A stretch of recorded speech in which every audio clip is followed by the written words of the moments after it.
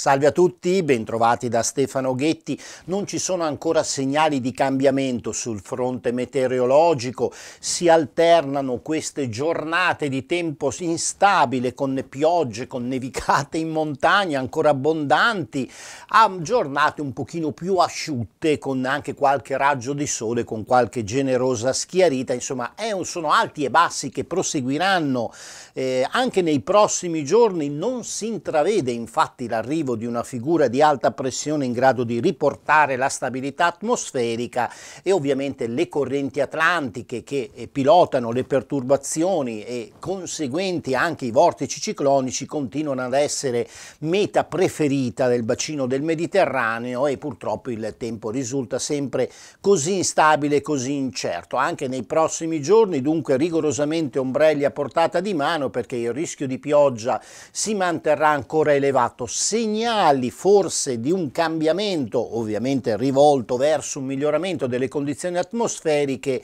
eh, sembra esserci intorno a metà del mese quando il flusso atlantico sembra interrompersi e lasciare spazio ad una maggior presenza degli anticicloni, ovviamente parliamo dell'anticiclone africano in questo caso, ma vediamo se tutto verrà confermato. Nel frattempo invece vivremo davvero ancora una situazione molto molto molto instabile. Per ora è tutto amici, grazie per essere stati con noi, a più tardi.